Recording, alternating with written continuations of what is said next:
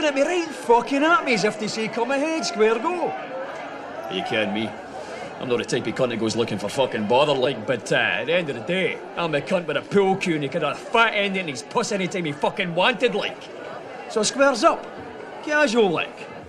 What does a hard cunt do? Or a so-called hard cunt? Shites it. Puts down his drink, turns, and gets the fuck out of it. And after that, what again was mine.